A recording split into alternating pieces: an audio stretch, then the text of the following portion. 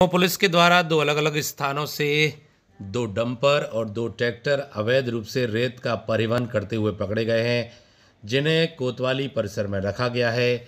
मालूम हो कि लगातार ज़िले में अवैध रेत का परिवहन किया जा रहा है और इसी सिलसिले में पुलिस की और खनिज विभाग की सक्रियता लगातार सामने आ रही है और इसी के चलते कोतवाली पुलिस के द्वारा सक्रियता के साथ कार्य करते हुए अवैध रूप से रेत का परिवहन कर रहे दो डंपर और दो ट्रैक्टर को पकड़ करके कोतवाली में रखा गया है। साथ ही आवश्यक कार्रवाई जारी है।